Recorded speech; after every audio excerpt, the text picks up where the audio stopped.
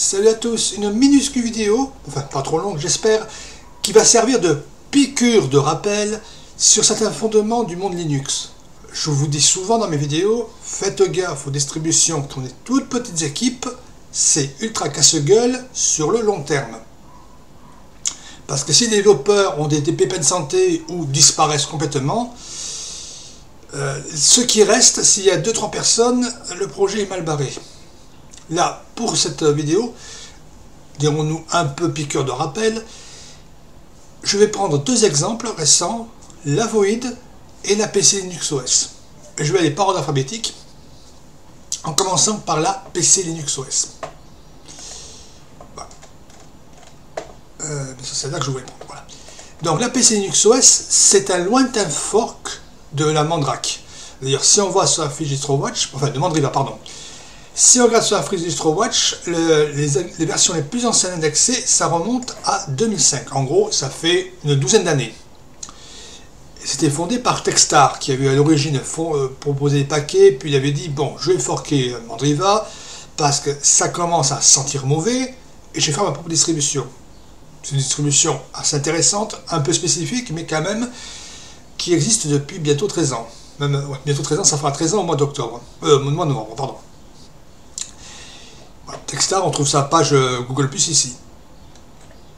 Mais dirons-nous que la ville a rattrapé.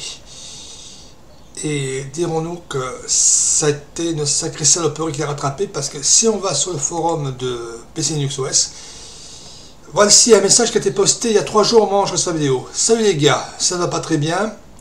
Le cancer est en train de me foutre une raclée. Kick in my butt, on peut dire foutre une raclée. Je veux juste savoir que je ne serai pas encore présent pour très longtemps. Donc, je n'est pas très optimiste. Je veux aussi remercier, vous remercier tous pour votre amitié et avoir partagé le voyage PC Nuxus avec moi. Priez pour moi, bon. Américain, les prières et compagnie, bref, ça, sur ce plan-là, je ne m'exprimais pas. Donc, on voit déjà un projet qui est porté par une, par une ou deux personnes, mais avec des pépins de santé qui lui arrivent sur la gueule des courses, le projet risque de malheureusement disparaître suite à la disparition encore plus malheureuse de son fondateur. Ça, c'est le premier pépin qui peut arriver. Pépin de santé. Mais il y a d'autres pépins. Et là, je vais parler de la Void Linux.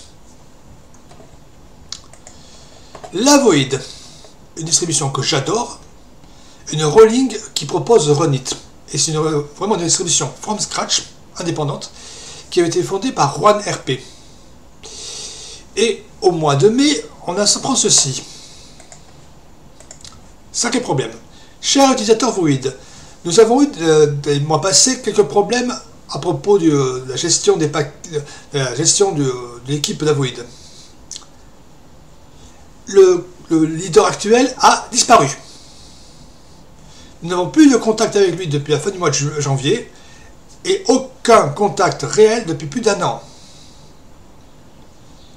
c'est un problème, mais ça ne met pas en danger le projet. Bref, Juan RP, Et la n'est pas un petit projet, parce que si on regarde sur le GitHub de Juan RP, on s'aperçoit que les premières premiers paquets, enfin les premières euh, contributions, c'est 2008.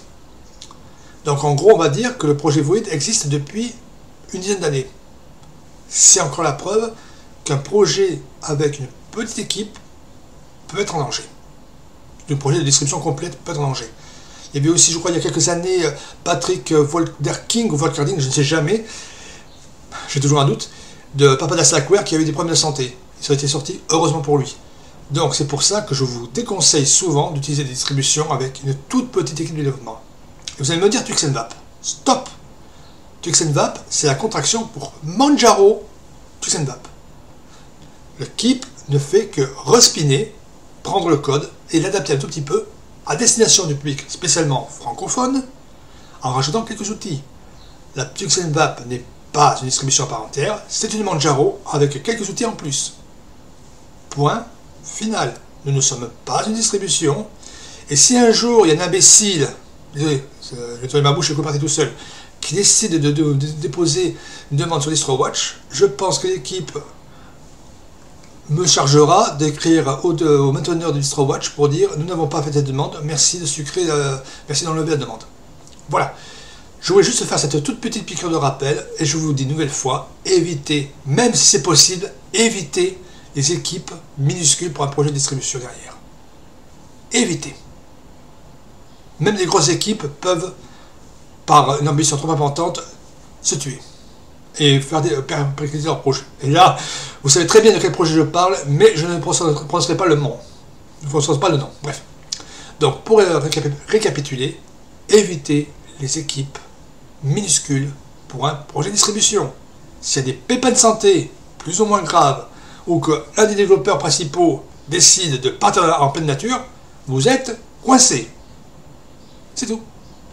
On va dire que je radote, mais mieux vous faire passer l'information que dire vous n'avez pas été prévenu. Voilà, cette vidéo était un peu courte, je l'avais dit, pour une fois sera courte. Sur ce, je vous laisse, je vous dis salut à tous, et à la prochaine, ciao